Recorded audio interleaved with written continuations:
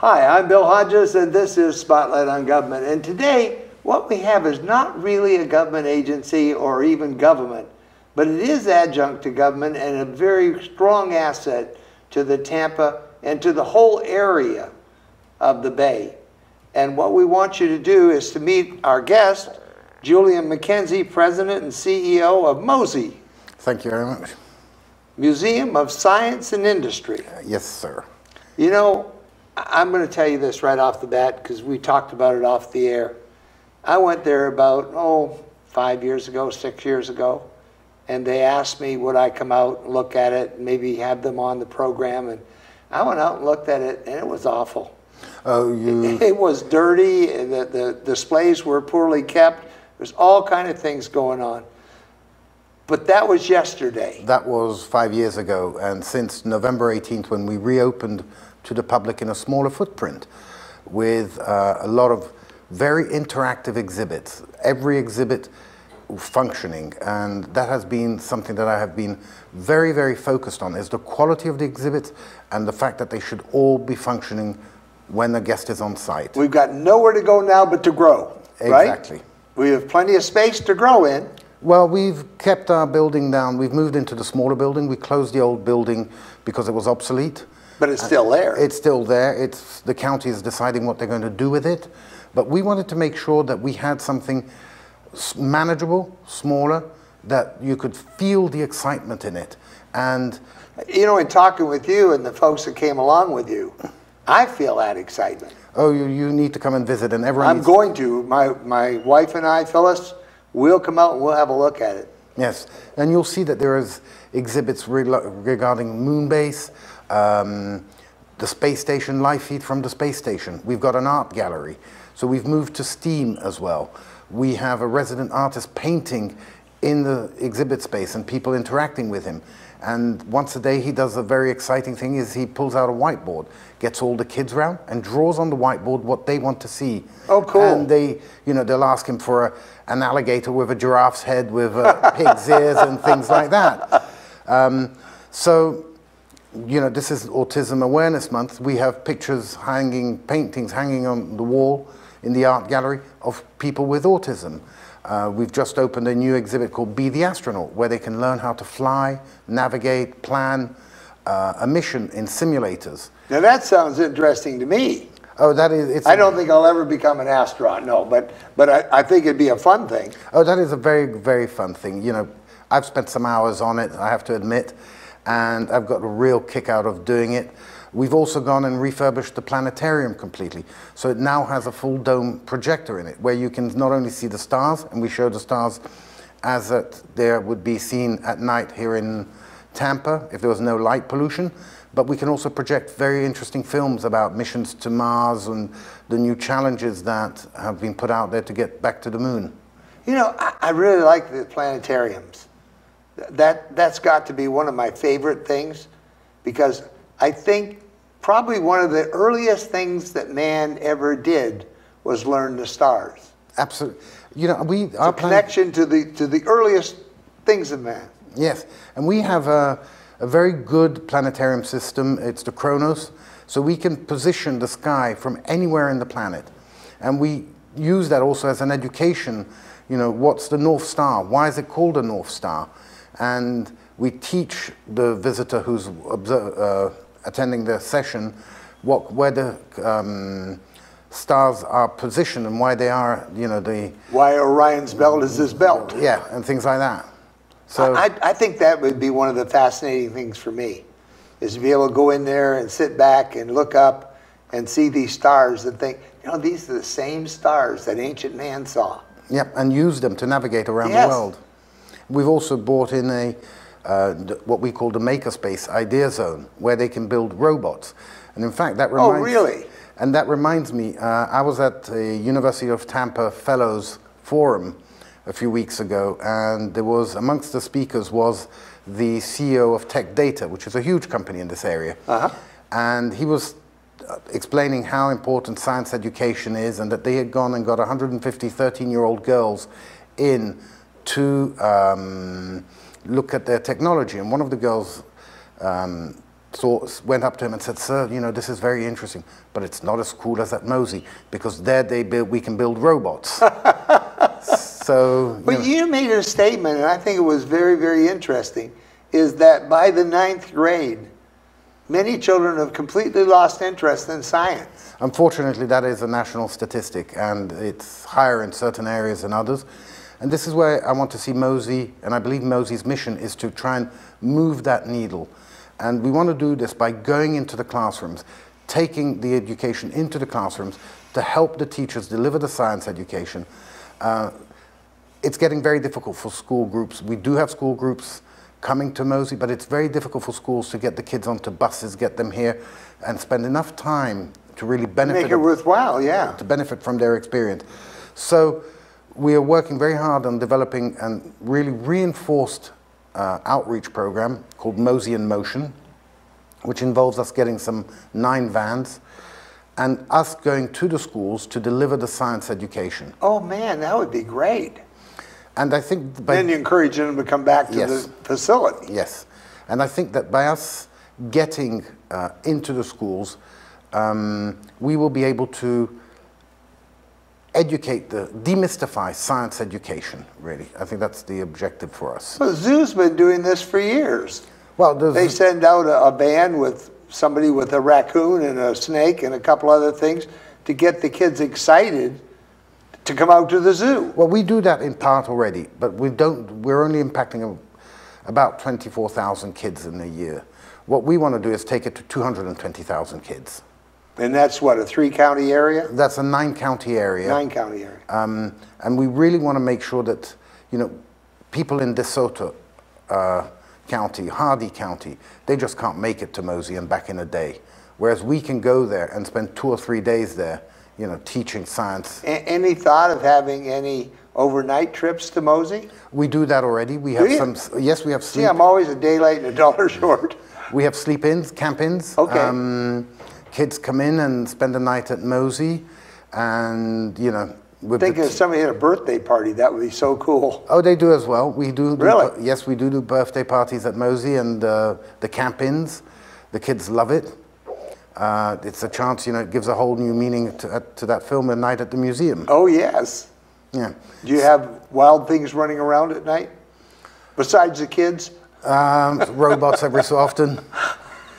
But otherwise, no, you know, it's fairly, it's fairly well controlled environment. No stegosaurus running up and down the hall or no, anything? no, nothing like that. we might get a robot or Moonbase Mike walking around. Moonbase Mike is our astronaut.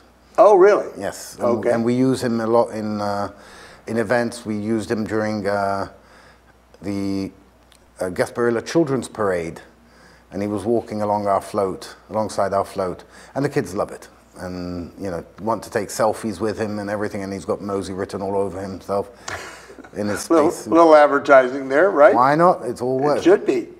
You know, it, it's fun to see a facility like this come to life. And I'm, I'm sorry, like I said, five, six years ago when I visited, I just was not impressed. But I'm going now. Oh, you must. I will go because the excitement that you and the fo- folks you brought with you have displayed across the table. You know, probably one of the interesting things is your background. yes. You came from Europe. I came from Europe about eight years. People are going to be wondering in the accents. We might as well get that on the plate. Well, um, I'm British. I came from Europe uh, about eight years ago uh, to lead and restructure a medical device company. Um, then that, I moved on from that, uh, went into doing some financial consultancy work because my background initially was in finance. And through that, I was asked if I would join MOSI as CFO in October of 2016. And I decided that I would take the challenge on because I wanted to give something back to the community. And that enabled me then in March, I was asked if I would take the presidency, the lead, become CEO when my predecessor resigned. And through my financial background, I was able to see that we had to do something significant because we were very close to, you know, shutting the place down forever. The guy in the checkbook that's looking at that checkbook knows more about a facility than just about anybody else. Yeah. And having you step up from that checkbook role to the leadership role, you can watch the checkbook still because you get the financial background. Yes, And, you really do need people to step up and help, correct? correct. We have a staff, we went from 65 people to 25 employees. We have a staff of very committed people, of people who really want to make a difference, of people who are there because they want to be there. I And- bet you the one that took me on the tour is gone. Probably. but we have people who, you know, there's no, during this whole reconfiguration, we were closed for 12 weeks in, in 2017. There isn't one employee who did not move, paint, demolish, build, connect, and exhibit. So they got sweat equity in the house. Yes. And that's important Oh, it's very important because it's a sense of ownership of the people that work there. Yes. And we have a team that is, we're smaller now, but we're a lot more nimble. We can adjust to whatever the circumstances are much faster. It's a much flatter organization. And, you know, I have the director of education, for example. I've seen her walking around with a broom because something had been spilled or needed cleaning. Th- th- that is so important. I was at Costco the other day, and there was a piece of paper on the floor. I, I couldn't get it, but this lady, who's one of their executives, was walking across, and she bent down and picked up the paper and threw it away. And I said, "That's very nice of you." She says, "Why wouldn't I? It's my house." Yeah, well, that's the way. And I think you're saying this is what these people are now feeling. This is their house. Yes. And they want you to come and visit it. we all, it's been part of the change in the culture of the organization. And we all want to make sure that this is transmitted to everyone who comes in, that they see that the staff are passionate about what we're doing there. What about corporate support? Do you get much corporate We support? do some- do you need corporate support? Are you looking for corporate support? We are looking for corporate support because we want to, as I mentioned, really launch this outreach program. Um, you know, some schools can't afford us going out there, so we have to have the support to fund the trip, the costs of us going into a school. We have to buy the vans. Um, so we are looking for support. You know, yes, we have a very sustainable uh, business plan as it is today, but if we want to go to where I think MOSI needs to go, then we're going to need corporate support. I think it'd be nice if some of these people had a van in their name Yeah, well, that's exactly the idea that we with want. some advertising on it. The Yes. They care about kids. You know, the other thing I've noticed is that there's several cities that I fly into that as you walk through the airport, they have these little windows or, areas in which they have technology companies who've put their product up for people to see. It would seem to me this would be a great way to show off well, we have Tampa and the technology companies, and we've got a lot of them. we do, and we do have some of that already ongoing at MOSI. We have a local company that is probably one of the world's leaders in drones. So we have a drone exhibit. Oh, exhibit. cool. That I want to see that. and uh, the drone exhibit teaches them the history of photography, the history of aviation, and how it married into um, the drones. Wow. Uh, autonomous vehicles, same thing. And we actually have our own autonomous vehicle. And a little known fact is that MOSI was, had the autonomous vehicle even before Google. And we have one that is a static display at the museum, and we have a second one that we are reconditioning, and we're going to use it in our outreach programs. And so that we can then show people what autonomy means in that sense. You know, Julian, the, the thing that, when you mentioned that, Phyllis and I, on the drive into the station today, we bought the very first 2018 Honda Accord that was delivered to Tampa. and got it at uh, Brandon Honda. And it's got so many self-driving things on it that it just blew me away. Oh, yes. For a while, I kind of, I like, but now I like it a bunch. And I'm thinking the older I get, the more autonomous the vehicle can be. I just want to get in, sit in the back seat, and say, "Take me to MOSI." Exactly. but you know, it's so we really putting an emphasis on new technologies at MOSI.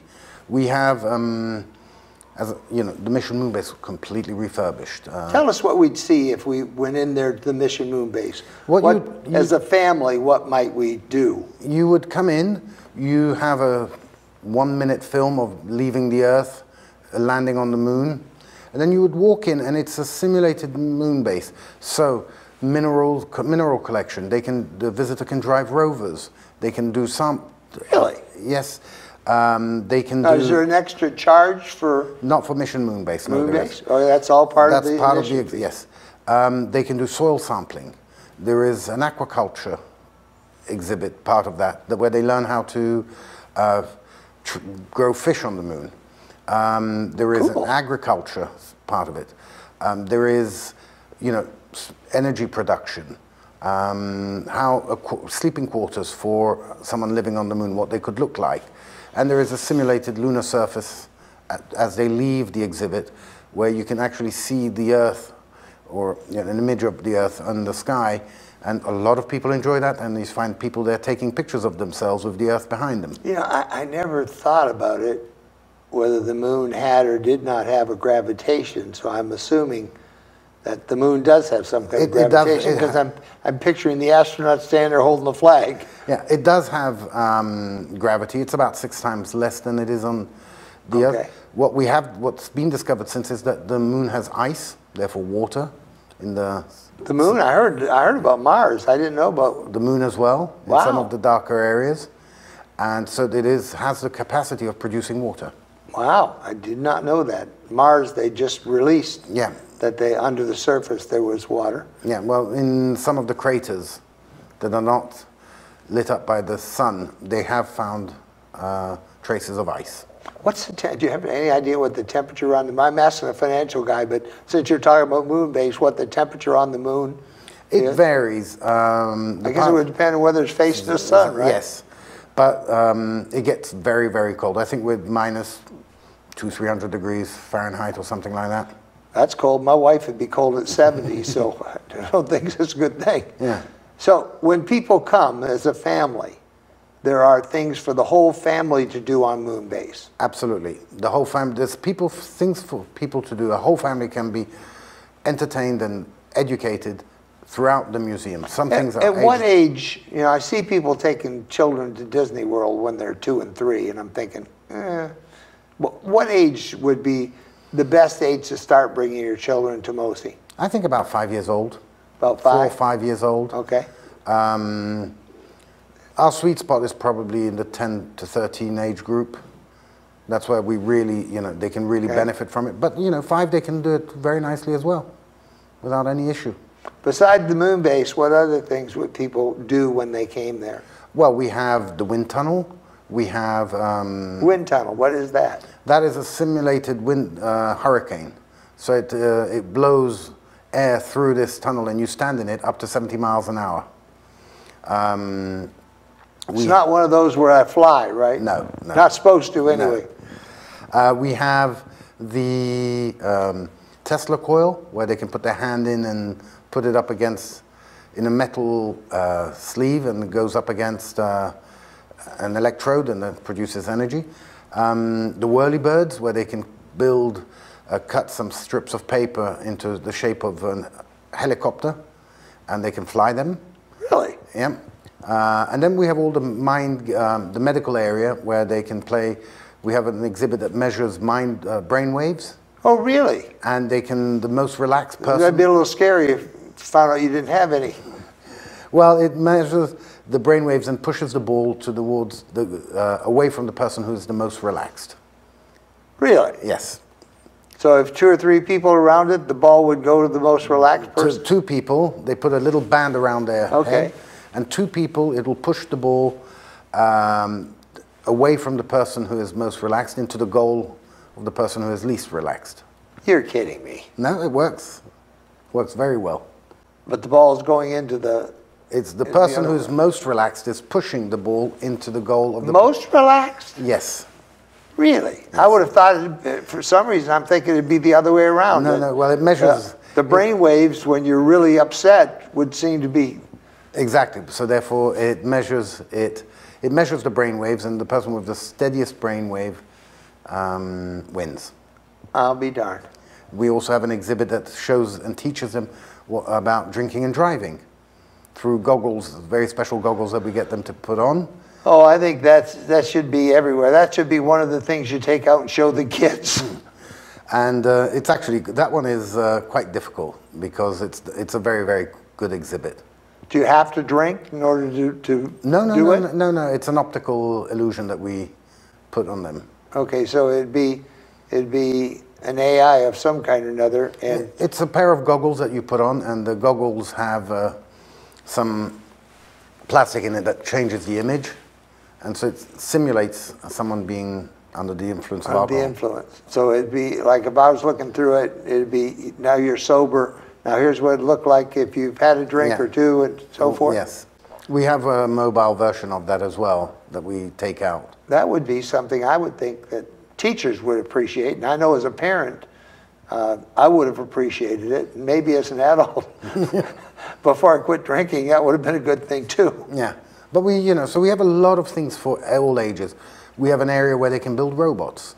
Um, they can see the person painting. Talking about the kind with the wheels and Yeah, go yeah. around and we have a little robot that can resolve Ru- Rubik cubes for you in 60 seconds. Really? Yes, and the kids are taught how to program it. And so we're doing a lot of things in robotics and you know travel to into space and things like that, and the art gallery and everything. So it's you know very very exciting, concentrated, interactive exhibit for everyone. Put you on the spot a little bit.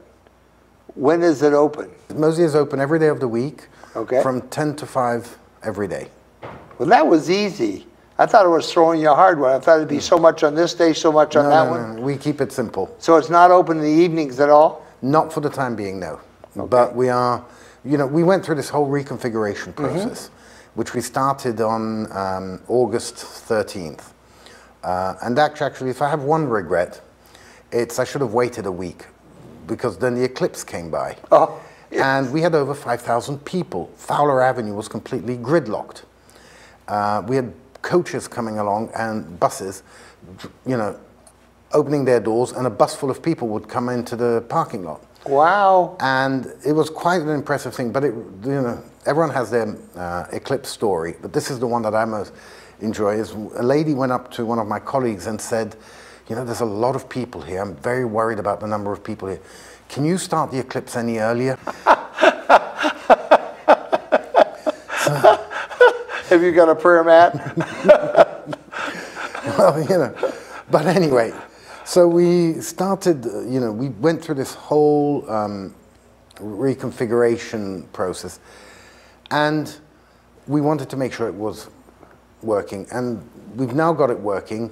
We uh, want to make sure that we are really financially sustainable, and then we'll go back to doing things like Einstein on Wine, which used to be something MOSI did a few years ago, where you know, kind of do evening events for adults, but you know, let's crawl, walk, and then run. Oh, yes, it's important.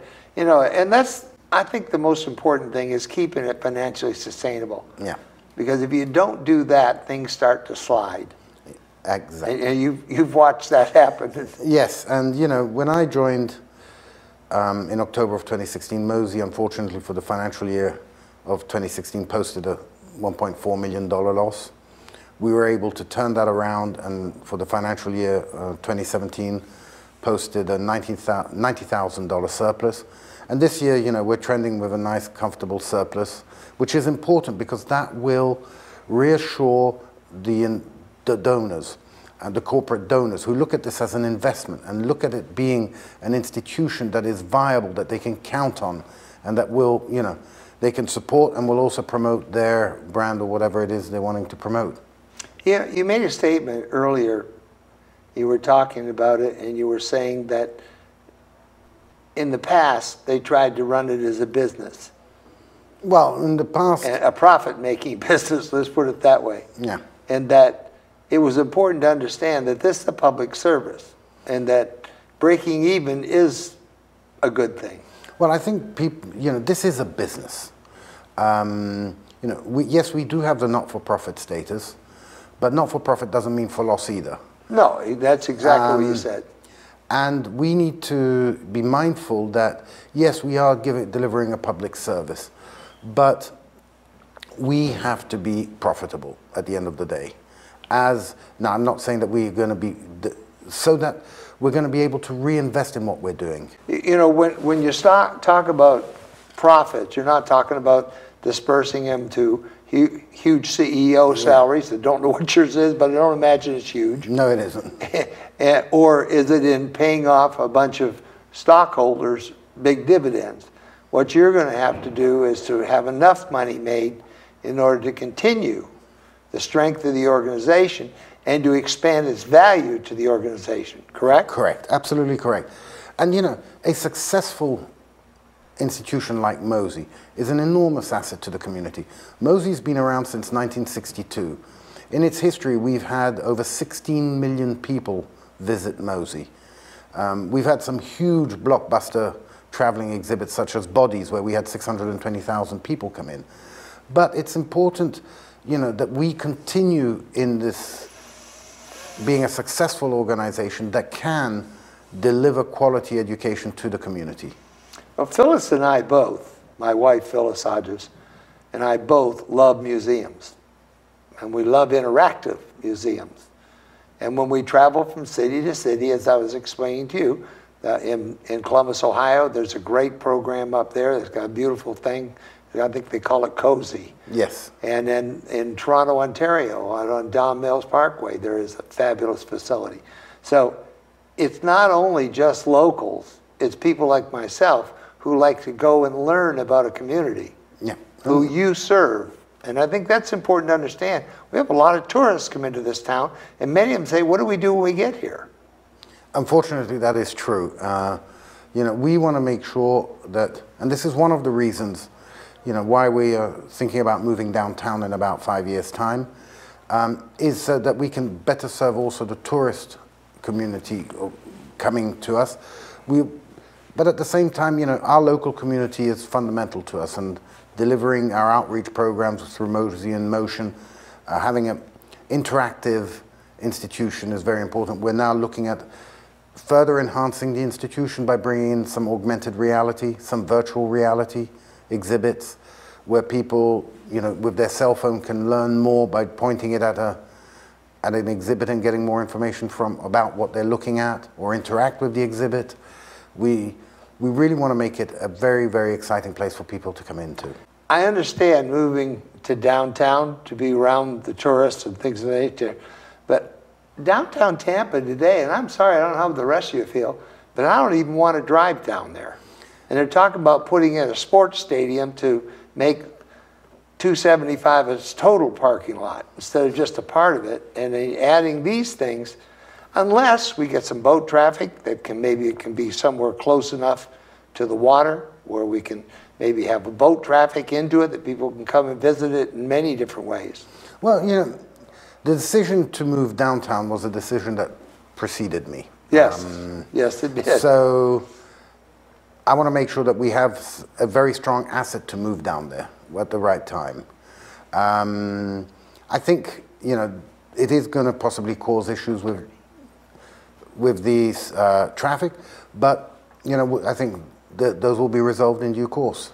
Julian, will you come back and give us progress reports? With pleasure, with great pleasure. I'm Julian Mackenzie, CEO of MOSI. I am so happy that you came in here today, and I'll take you up on that offer. Phyllis With and I pleasure. will, within the next month, we'll give you a call and we'll come out and see the facility. And then the next time you come on, I can talk about how great it is, because I know if you're doing it, it's going to be. Absolutely. I thank you for coming on the show. Thank you very much for having me on the show. I'm Bill Hodges. This is Spotlight on Government. Thank you for being with us. You're unique, you're special, you're great. Tell yourself so often because you are, you know, and we'll see you on the next Spotlight on Government.